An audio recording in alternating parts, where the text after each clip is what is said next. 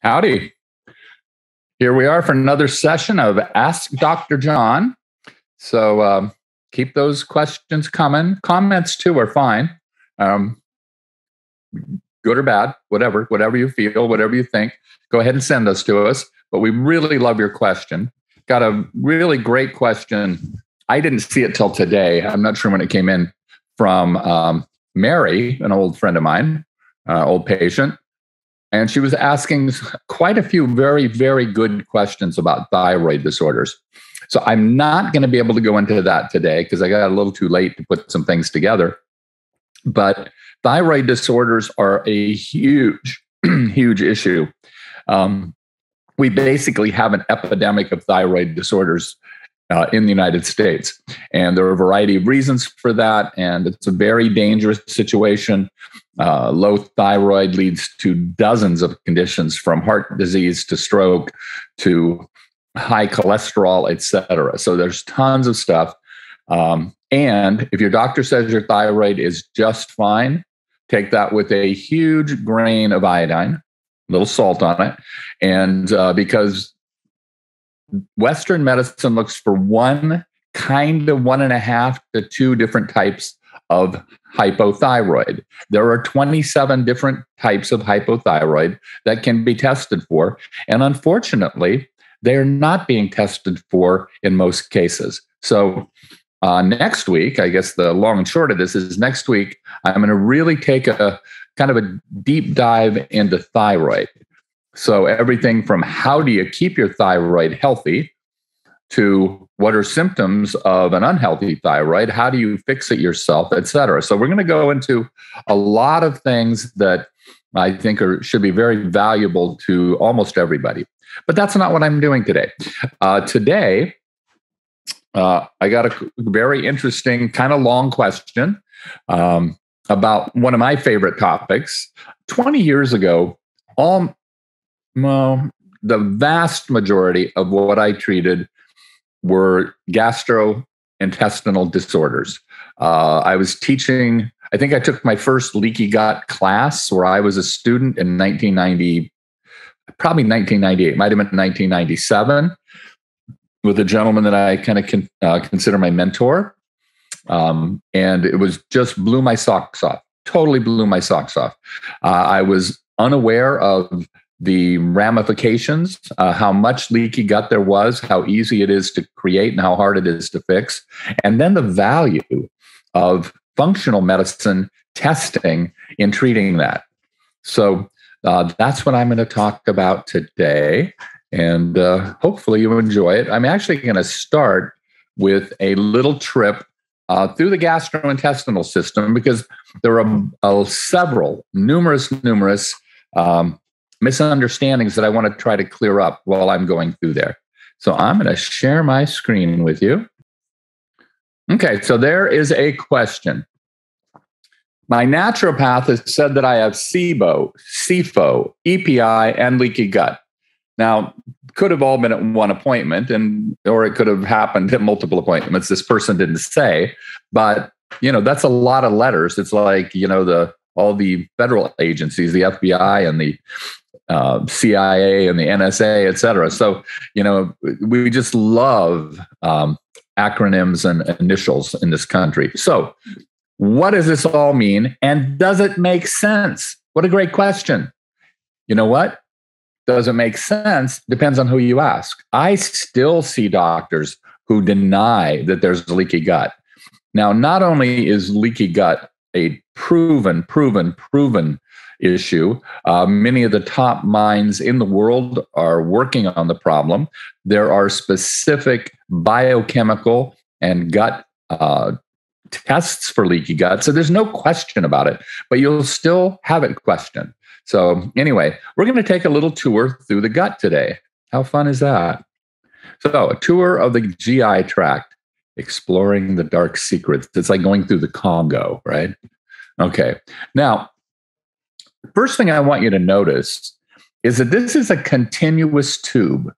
We're actually, we think of ourselves as this solid entity and we've got, you know, a GI tract. It's actually much better to think of us as being like a donut. right? We're this solid entity with this hole running through us. And that's really important to remember because 80% of our immune system is lining the gut tissues and is trying to protect us from insults through the gut. There are far more illnesses that can attack us through the gut than there are that can attack us from the outside through our skin. So here you see this entire um, layout, and each one of these things is important. Uh, however, a lot of it gets overlooked. So we're going to go through the whole thing and look at some GI problems. Okay, now start at the beginning. So good digestion starts in the mouth. Now, I read some really interesting stuff about that in 1970 ish. Uh, there were a few people that were talking about these principles that I'm going to mention today. And they were talking about chewing your food X number of times. Some people said 20, some people said 100. But I really took it to heart.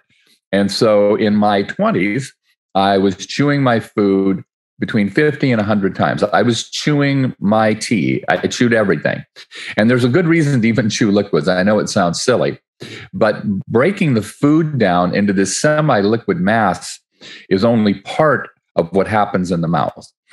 Uh, I've gotten a lot of trouble. Actually, I was in the Air Force, and, and when I was in the uh, training camp, um, basic training and we would have to march together to eat together and then you'd sit at a table with three other people and nobody could leave until the last person left. And i was always the very very last person.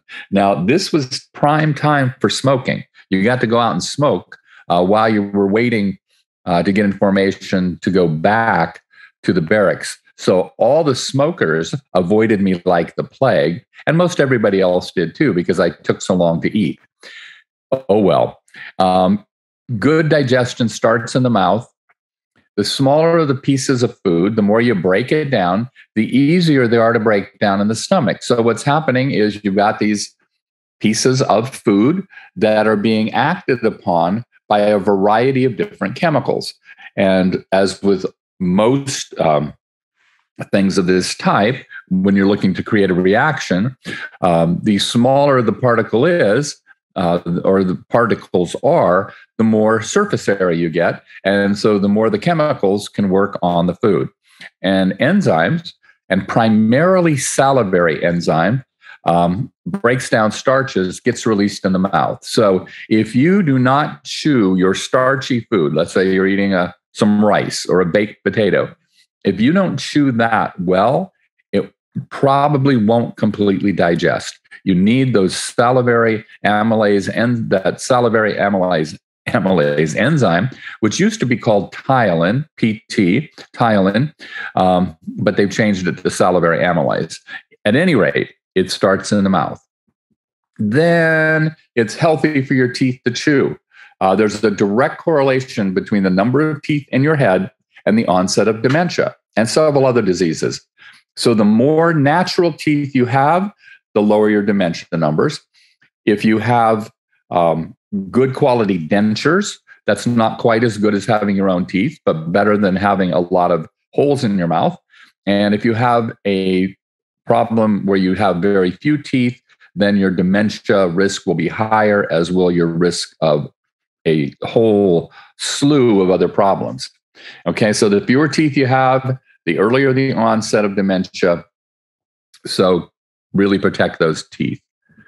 and so then it goes down into the stomach. So it goes uh, down through your esophagus, through the upper semi sphincter. It's actually a pseudo sphincter uh, into the stomach. And the stomach is quite amazing. Uh, the acidity, which is caused by hydrochloric acid release, can and, and really should reach the pH of around 1 to 1.5. So that's very, very acidic. Now, if you did not have a protective layer in the stomach, that acid would eat right through it. And that's why when people don't have that mucus layer, it does eat through it and they get ulcers, which can bleed and cause death. Uh, it's also a very muscular organ. It isn't just a big uh, bowl there. It's really very muscular. it churns and rolls and turns the food uh, so you get faster action by the acid. You want to get it really well mixed. Now, I'm talk just a moment. So when we do our liver uh, detox and our liver cleanse, I talk a lot about bitter herbs. They're incredibly important. I'm going to take about seven or eight minutes to talk about it here, and I hope you pay attention because this is really important stuff. So, Chinese medical history included nutrition. At all times, that was part of the medical tradition. And all herbs and all foods in that culture are classified in a variety of ways. They're classified by their flavor. Is it sweet, bitter, salty? And each of those flavors, by the way, does certain things in the body. And they knew that. If you eat bitter foods, it purges fire. It um, is very healing in a variety of ways that I'm not going to go into all of them. Like sweet nourishes the body and it arrests pain. The bitter herbs actually uh, stimulate the liver. They cause the release of bile. They um, relieve PMS symptoms, etc. Pungent herbs promote movement. Sour astringes. It holds and, and consolidates things in the body. And salty dissolves hardness and accumulations. So they would eat seaweed for cysts and for tumors. And of course, seaweed has very high iodine content, and the iodine uh, can still be used and is used uh, for cysts and tumors. Very effective, actually. So, uh, bitters have been used hundreds of years in European herbalism. You can go back and find uh, the works of Hildegard von Bingen, who was a brilliant herbalist and musician, um, one of the few women to actually uh, run a monastery. Uh, and people, uh, priests going from England to Rome uh, for their visit would actually go hundreds of miles out of their way on foot, usually, maybe riding an ox cart, uh, would go hundreds of miles out of their way to visit Hildegard's monastery because she was so famous at that time and her herbal books and treatments were so advanced. Now, the bitter herbs were mostly used and are mostly used for digestion and to create an appetite. So, doing an aperitif before a meal, very common in Europe. Uh, there are about 60 herbs that are still used in European bitters formulas. Uh, in Netherlands, it's still common to do bitter hour. So you hang out with a bunch of your friends and you eat and drink bitter food and drink. It's crazy, right? And this is done very frequently. So here's good old Swedish bitters. That's the first bitters I was exposed to. Uh, very effective for many conditions. There's a my favorite is one called Eau de Mélisse, uh, water of Melissa, which is French by the Carmelite um, monks uh, in Paris, I believe, and it is incredibly bitter. In fact, I can't get it down without putting it uh, on sugar, a sugar cube, but it will clear up your gut faster than anything. in fact, when I was in um, in France and in Paris in particular, with my last girlfriend before my wife uh, Jenny and I got together, which was 29 years ago. So this has been a while. But we would go out to these little auberges where, you know, it was a kind of a family restaurant sitting alone out in the country. And each al- auberge would have their own um, stock and trade. Like the one we went to, um, it was goat. So everything was made from goat, but you could get sheep or cattle or whatever it was. And almost everything is made of whatever that thing is that they're famous for.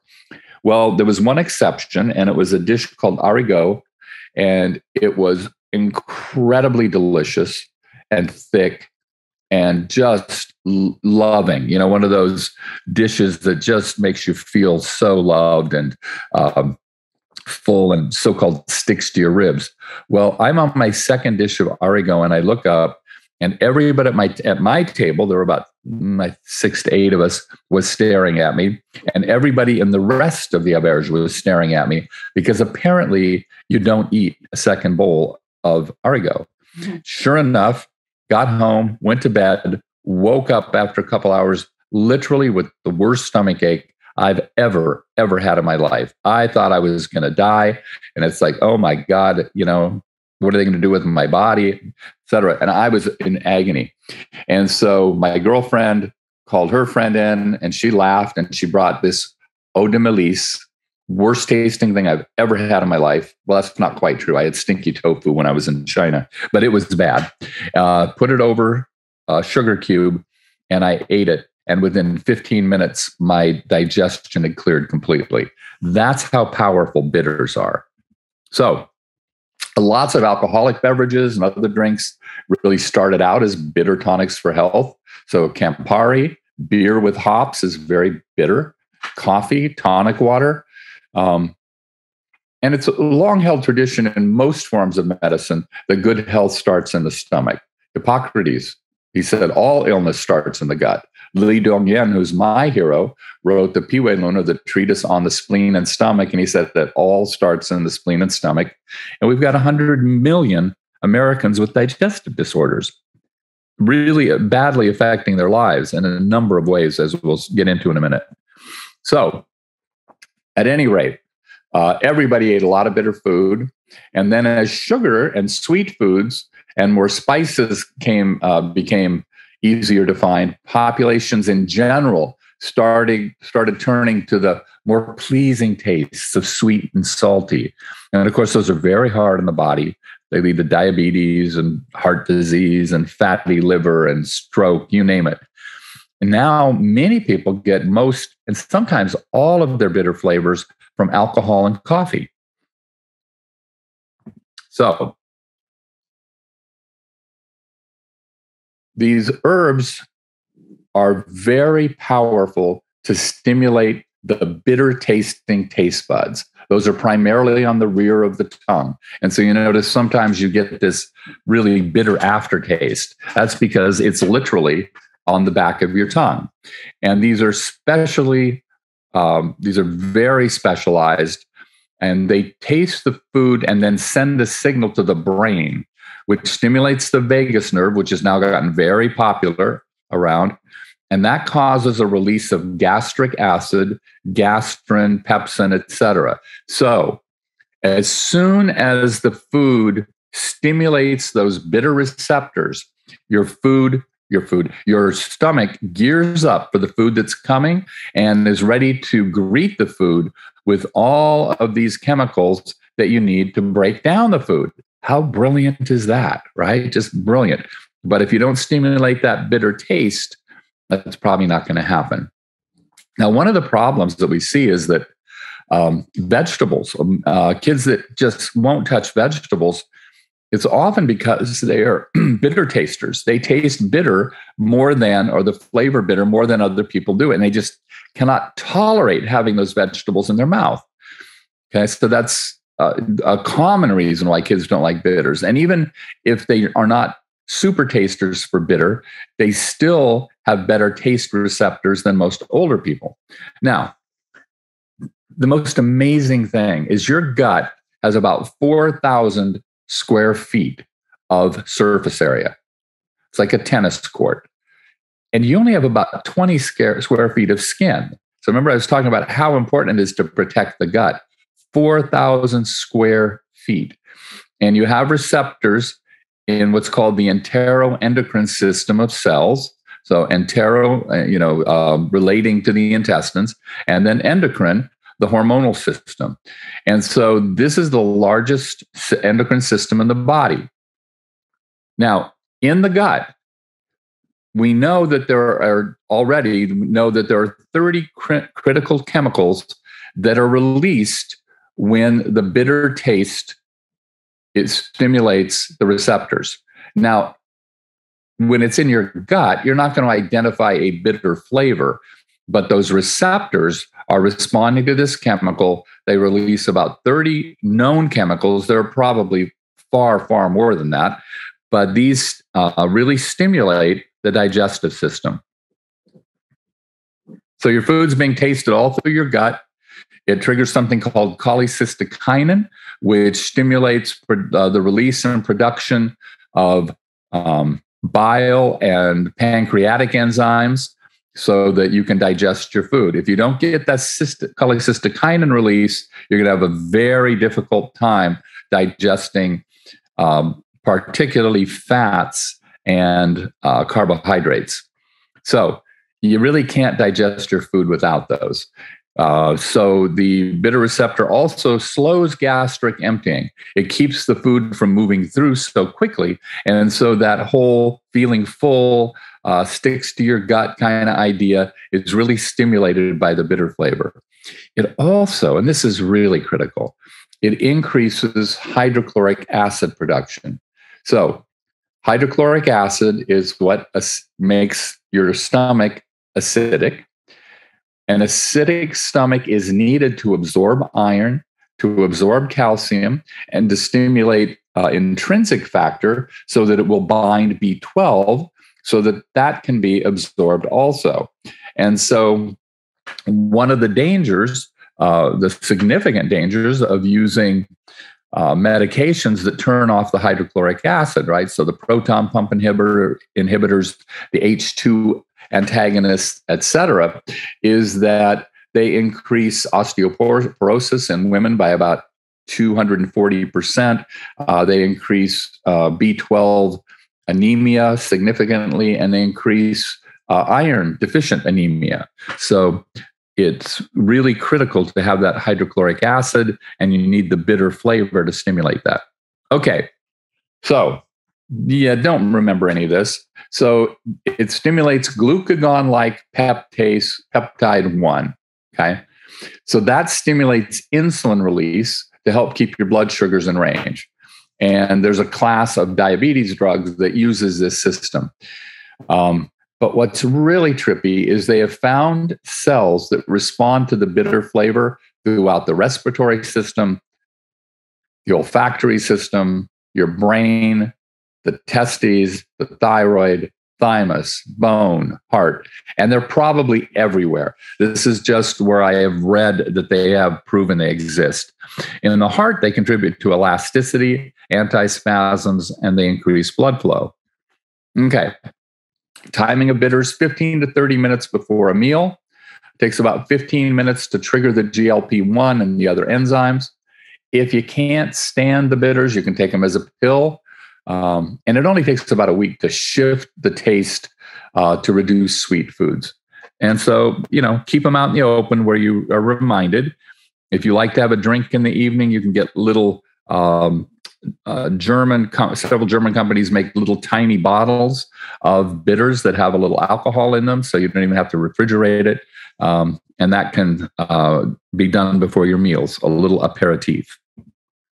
Okay, so we're going to look at some conditions. This is Barrett's esophagitis. So this is looking down someone's throat, and you can see that red area. And this is where they've had too much stomach acid coming up into the esophagus. Now, I said you want a very acidic stomach. However, the sphincter, it's a pseudo sphincter here, has to close. And I'm not going to get into why that doesn't close, but it's the opposite of what most people think. It's from l- low stomach acid, it is not from high stomach acid. But if it doesn't close, then the acid can come up and burn the throat. It can actually get up into the lungs, and there's certain cases of chronic cough that you know they're not getting figured out, but actually they're being caused by the stomach acid coming up and burning the bronchioles and sometimes getting into the lungs. Okay. So if you get a bitter taste in the mouth, be a little suspicious. Uh, some remedies: eat small meals, maintain your acidity. Uh, you can sleep with an incline. Some people use a little raised bed uh, a we- or a wedge. Uh, about four inches is usually enough. And do your last meal three hours before bedtime. And if you're still having some difficulty, if you do not have really extremely high blood pressure, uh, take some baking soda before you go to bed. If you have high blood pressure, then there are alternatives. Okay. And here you can see it. If you have low stomach, now this is where it gets confusing with this whole acid uh, alkaline thing. People think that if you eat alkaline, your whole system is alkaline. Not true. And fortunately, it's not true because every little bit, every few inches of your intestine and your GI tract needs to be at a different pH level, a different level of acidity and alkalinity. But if you start with low stomach acid, you get poor digestion. Then you get protein and mineral deficiency. Then you get acidic blood from low stomach acid. And then you get insufficient nutrients to produce stomach acid, and you start that whole, whole um, circle, vicious circle again. Okay. The other thing about stomach acidity is it's important to kill the microbes. You know, you eat something, there are bugs on everything. There's bacteria on everything you eat, and there's yeast on most everything you eat. But having a good acidic stomach will keep the bugs from getting down into your intestines. Now, heme iron, oh, that should be M E A T, not from a meat, but from meat, flesh, needs only mild acidity in the three to four pH range. So that's not very acidic. Um, iron removal from vegetables needs a very acidic environment of around 1.5. So if you are a vegetarian or a vegan and you are on medications to lower your stomach acid, you are in trouble. Guarantee you've got problems. There's no way around it. And so if you're in that category, then see a functional medical doctor or, or someone like myself that treats these issues. Okay, this is way too complex, I realized after I got it in here. But the point being this up here in the stomach, you've got this intrinsic factor that's released by being stimulated by stomach acid. It grabs the vitamin B12. That then goes all the way down, all the way down to the end of the small intestine where it finally gets absorbed. Any problems in here can prevent B12 absorption, which can lead to stroke, heart attack, uh, peripheral neuropathy in the feet. It's one of the primary causes, uh, early dementia, etc. So this is a very important system. Apple cider vinegar that handles a lot of it. Uh, you can now get apple cider vinegar in gummies. You can get it in capsules. You can do a liquid that also has honey in it it's all good. But I highly recommend uh, doing a little apple cider vinegar before your meals, particularly. Well, here, I'll, I'll go through this a little bit. So it's going to increase stomach acidity. It's antimicrobial, it kills bugs. It helps relieve bloating, gas, and belching because it improves digestion. And then with good digestion, then the food doesn't ferment. And it's that fermentation that largely causes the gas and bloating. But also, this is really cool. So, you know, healthcare professionals have known for I don't know how many thousand years uh, that apple cider vinegar and vinegars were really, really great for your health and knew some of the benefits, but didn't know why. And it's over the last couple decades that there have been these awesome studies showing what happens with the apple cider vinegar. And one of those they've proven that if you take apple cider vinegar before a meal with particularly with carbohydrates that your postprandial blood sugars your after eating blood sugars will be 30 to 40 points lower. Now for most pre-diabetics and diabetics that's life changing and so it blocks an enzyme that breaks complex carbs down into simple sugars and because of that it lowers blood sugar levels after you eat and a lot. It's not a small benefit. Okay. It improves insulin sensitivity to a high carbohydrate meal in subject with insulin resistance or type 2 diabetes. There's a study. Uh, if you're curious, go ahead and check it out. Um, so, compared to placebo, vinegar raised whole body insulin sensitivity. That means how well are your cells balanced so that they are sensitive to insulin, so that they allow insulin to bring sugar into them with less resistance. So, in this case, the 60 minute post meal interval was 30% better if people did apple cider vinegar. That's again quite shocking. Okay, acetic acid, which is uh, vinegar basically, uh, suppresses those disaccharides, as I mentioned, and it also raises uh, these glucose 6 phosphate concentrations in skeletal muscle. And that gives you a benefit that's close to metformin. Uh, and so rather than take metformin, you may well be able to get by with apple cider vinegar.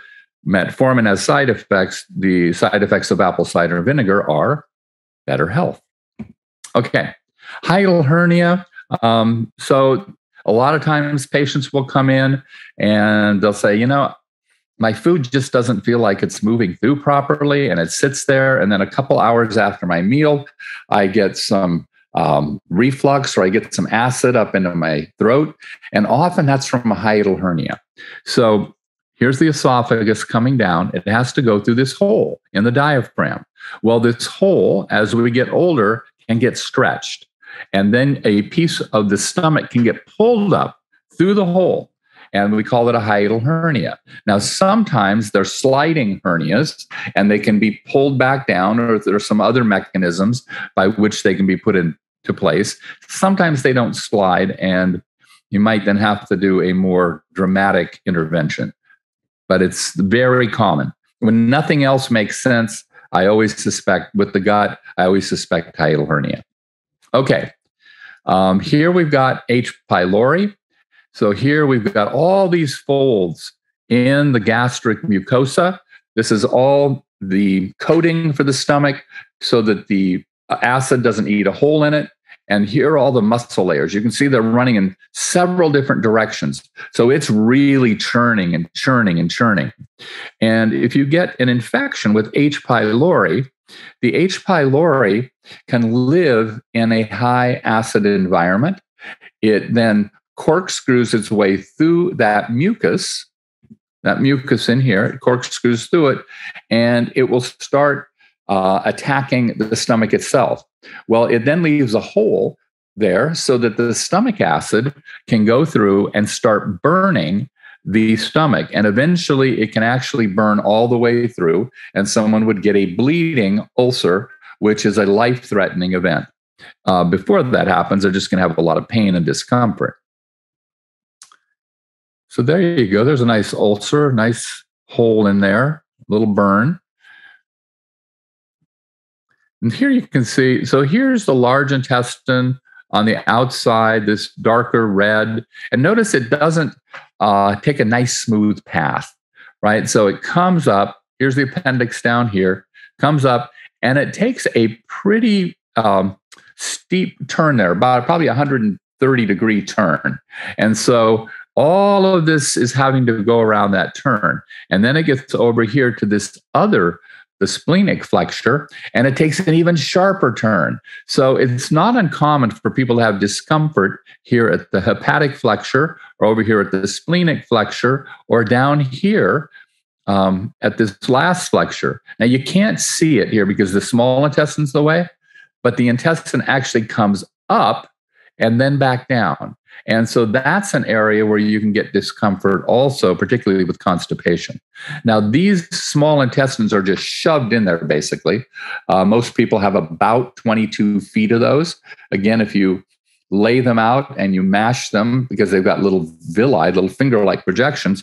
But if you brought them out flat, there's the surface area of a tennis court. That's why you can uh, get so much digestion and absorption of nutrients. Okay, pancreas and gallbladder. Gallbladder, you can't. we don't have the liver over it, but the liver sits over the top. Uh, when this gets stimulated, then it releases bile that comes down here into the common bile duct and gets dumped into the beginning of the small intestine so that you can absorb, I'm not sorry, not absorb, so you can break down fats. And then here you get lipase and amylase and a ton of baking soda um, sodium bicarbonate actually get released so that you can start uh, doing a finer breakdown and digestion of fats so that you can then also uh, digest carbohydrates. And then the baking soda or carbon dioxide is there to neutralize this whole mass because it's come in here in a very acidic state from the stomach. And so you need to buffer it so it doesn't burn holes in you. So lots and lots of bicarbonate of soda. And these are just these are the the chemical messengers that are turning things on and off. Now here you see the GI tract. Here's the pH in a fasted, meaning they haven't eaten for a few hours and the stomach's empty. You're going to see a pH in here. And you see as it comes down through here, you get big changes in the pH. It can go anywhere from 1.7 to 8, depending on where you are in uh, the intestines. Now, one of the things to remember is since the pH is changing every few inches, it means that your microbiome is changing every few inches because the microbiome, one of the things they're dependent on is a particular pH in which they can survive. So, there you go. Same thing. Um, EPI. Now we're getting into the conditions, those uh, questions that my patient asked. EPI, endogenous pancreatic enzyme insufficiency. Wow, that must be really nasty, severe stuff to have a name like that. I remember when I first heard this term, I was literally driving to work and there was a commercial, and I don't remember it exactly, but it was something like forgetting your neighbor's name, embarrassing. Walking into your closed sliding glass door, embarrassing. Talking to your doctor about your poop, normal, right? And they were encouraging people to start paying more attention to these issues. But the reason is always fascinating. Whenever you hear a commercial like that, it's because there is a drug to treat a condition. And so they then name a condition that the drug treats, and then they start advertising it. EPI or endogenous pancreatic enzyme, I probably treated in the first patient I ever saw. And I've treated 60,000 patient visits since then. And at least 30% of them had EPI. Okay. Hopefully not when we were through treating it, but at least at the beginning. So it just means the pancreas isn't producing enough enzymes to digest your food. Okay. So the easy way to treat that is give you give you some additional enzymes uh, at least short term, so that you can break down that food. You just take them when you eat your meal and it helps you with it. Now, there are a variety of tests for this. Uh, we do often a comprehensive digestive stool analysis to test for lots of things, but including chymotrypsin, which tells us if there's EPI, and a couple dozen other tests. Uh, when an, an enzyme the names of enzymes end in ASE. So you've heard of lactose intolerance. The treatment for that is lactase. Lactase is the enzyme that breaks down lactose. So any ASE will break down an OSE, right? So cellulose is broken down by cellulase. So we need lipase to digest fat. We need amylase to digest carbohydrates. We need pepsin and protease to digest protein. We need cellulase to digest cellulose, which humans do not do very, very well at all. We basically can't digest cellulose. Um, and that's why it's for us is roughage or fiber because it just goes through us basically the way it came in. Now, other animals, ruminants with several stomachs, um, will produce cellulase so they can break down the cellulose. Now, you can also use ox bile or bile salts to emulsify. So if you have a greasy plate, let's say you're a meat eater, you had lamb, and that grease is very difficult to clean off the plates, right? But you put some detergent on it, and the detergent just basically explodes the fat molecules, making it uh, easier to clean the plate. And that's emulsifying it. And that's what the ox bile or bile salts do in your gut. They emulsify it so that it can break it down into smaller pieces so that the lipase can then work to fully digest it. So if your gallbladder is blocked or you don't have a, a, gallbladder, then you're not going to be able to emulsify fat properly, and fatty meals may go straight through you. They may cause diarrhea, etc. Um, Chinese call them duck dropping stools for because they look like duck droppings. So again, we got 4,000 feet of, feet of surface area. And that terrain is damaged. If it gets damaged, it's very significant. It can't absorb the good stuff, but it will absorb the bad stuff because it'll go right through the linings. And once damaging microbes get a foothold, you're in trouble. So, what damages it? Bad bacteria, fungus, candida, viruses, protozoa, worms. And don't think we don't have worms here. I catch parasites in people all the time food allergies and intolerances, heavy metals, all of those damage the small intestinal terrain. And there are a ton of other things. If you're drinking chlorinated water, uh, what does chlorine do? It kills bacteria. If you're drinking fluoridated water, any of those things will damage the small intestinal terrain. Okay, so here, here we see a healthy intestinal lining, and you see these long finger-like project- projections going out. So it's like if you go down to the marina, if you could just dock your boat on the um, on the land, you couldn't get very many boats, right? They just there's not enough room. But if you put these finger-like projections out, uh, piers, etc., then you can dock a lot more boats, and that's what's happening here. These villi tremendously increase the surface area. But if you get long-term inflammation, these are actual photomicrographs, actually. This is what happens no villi. No villi means no absorption, but you do from the inflammation then get leaky gut. And so the cells actually shrink from the inflammation, and food particles that are undigested and a variety of toxins get through and they will go into the bloodstream. And then they cause massive harm uh, as those inflammatory chemicals go all through the body. Same idea. This is a little bit more fun, I think.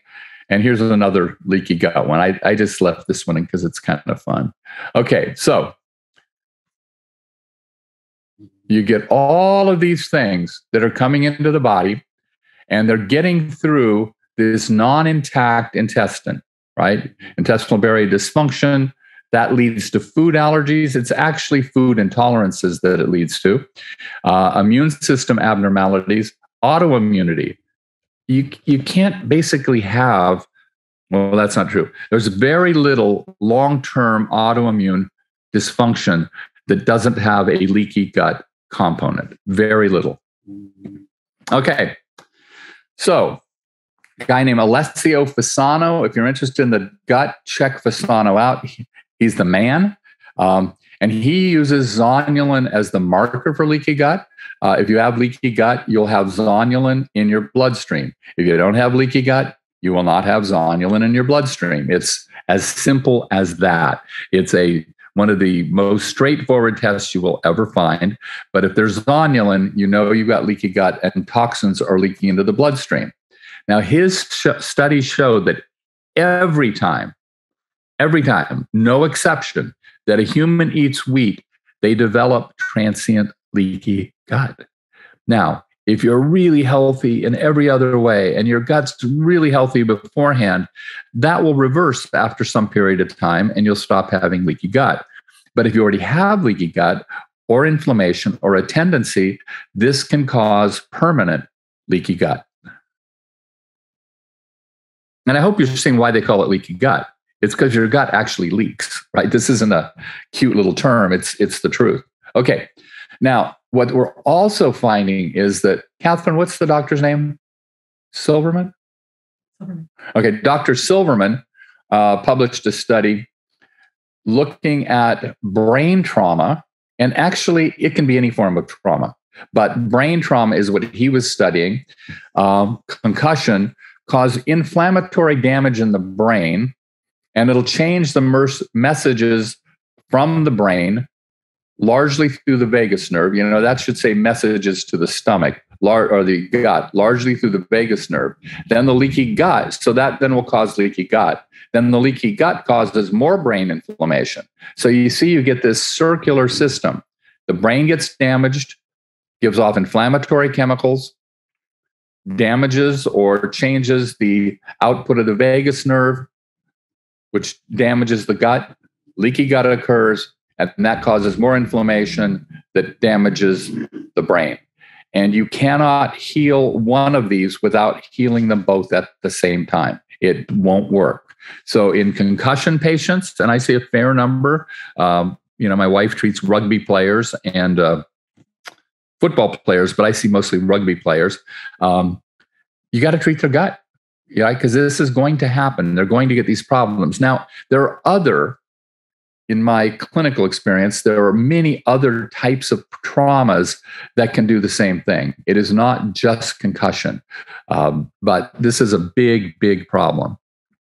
Okay, there's a an esophagus. You can see there's some erosion there. Um, so, how do you heal a leaky gut? First, if there are food hypersensitivities, you have to find out what they are and remove them. If you don't know, you start with the most likely offenders and you remove those.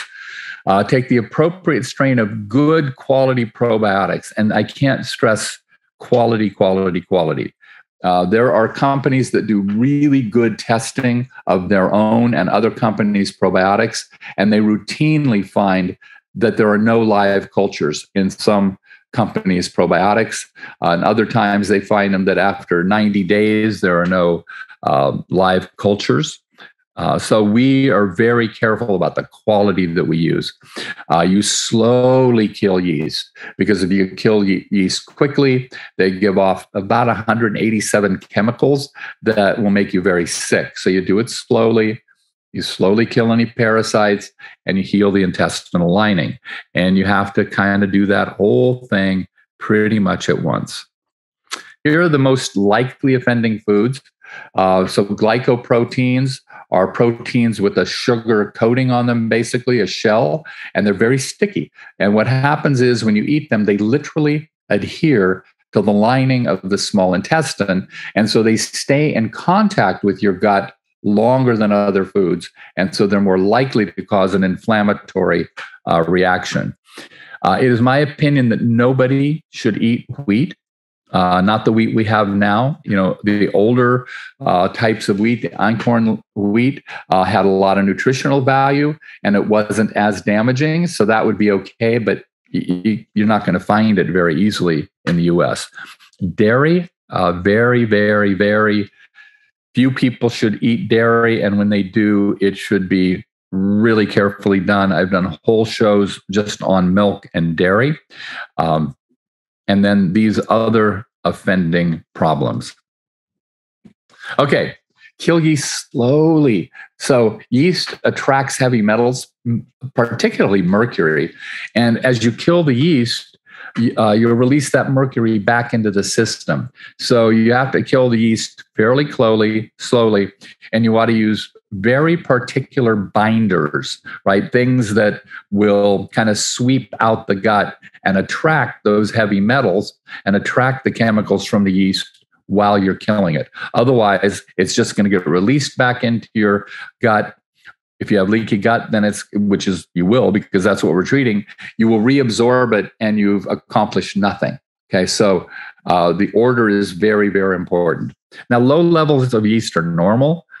Uh, there are tons of yeast killers that uh, you can read this or we can go into it, and they're very effective.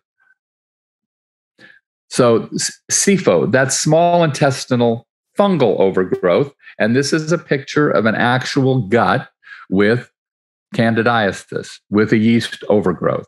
And you can see the tissue is very red. It's uh, be very inflamed from this. Okay, then you got to rebalance the flora. And this is almost never done properly. If you look at the studies, all of the large studies are using 900 billion to 3 trillion colony forming units, CFUs. 900 billion to 3 trillion. Most of your probiotics don't have 10%. A lot of them don't have 1% that many units. And the studies are very clear that it, you have to, in many cases, use very large doses to kind of shock the gut back into shape and get it uh, with the high enough levels of those, the gut will start healing itself. At lower levels, uh, you get some benefit because it's kind of, you know, hopefully it'll uh, colonize and it'll push some of the bad guys out.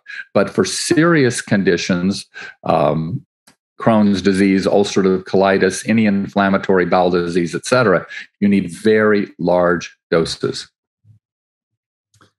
Um, uh, small intestinal bacteria overgrowth. There are medical tests for each of these. Many of you have probably seen the breath test for methane and hydrogen forming bacteria. I don't order it. It's expensive. I read them all the time. People bring them in because if the symptoms are strong enough to suspect it, if they're strong enough that I would order the expensive test, I just use the patient's money to treat it rather than test for it. Right? We're going to have to t- treat it anyway. So it's not difficult to figure out without the test. Okay, SIBO isn't really an overgrowth. That's a misnomer, uh, but rather an imbalance in the 100 trillion bacteria in a healthy gut. 100 trillion. 20 times more bacteria than you have cells in your body. Um, 2,500 known strains. It's actually probably closer to 4,000 now, now. And there are only two that are generally used in the United States for supplements out of 2,500, right? Um, you know, that it's very slow to get approval on those. Other countries, there are more available. Uh, seven pounds of bacteria in a healthy gut. And we're one of only two species of primates that actually have good bacteria in our brains. That's pretty cool, huh? They stimulate the nerves to make new connections in the brain. So they actually help our brain to grow. So, SIBO, MDs use rifaximin. It's an antibiotic. Um, now, you got to think what started the leaky gut in the first place? It was a bacterial imbalance. So you're going to take rifaximin, an antibiotic, and that's often how the gut imbalance happened is someone took an antibiotic. So you're going to take it to treat leaky gut. Well, it doesn't work so well. After rifaximin treatment, if patients are tested at six weeks, 50% have SIBO again. And the further out you go, of course, more and more will have SIBO. If you use the proper probiotic treatment, at six weeks, only 20% will have SIBO. That's quite a difference. Quite a difference. Okay, so you got to heal the gut. You increase secretory IgA. You reduce the inflammation.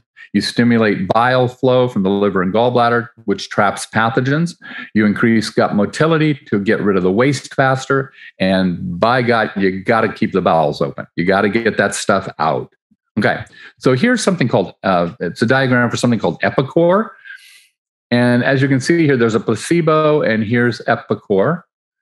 And we're looking at what happens to these CD25 and CD69. These are good guy protective chemicals in the gut related to um, secretory IgA, which is very important for protecting you.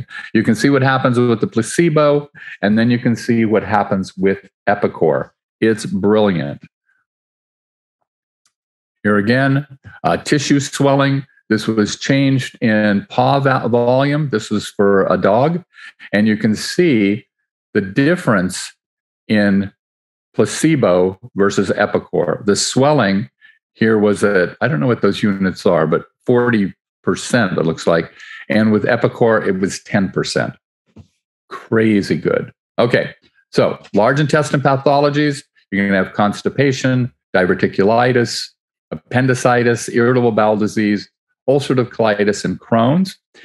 And I'm not going to have really time to go into those today. I may go into them in the future, but we covered SIBO, small intestinal bacterial overgrowth, SIFO, small intestinal fungal overgrowth, EPI, right?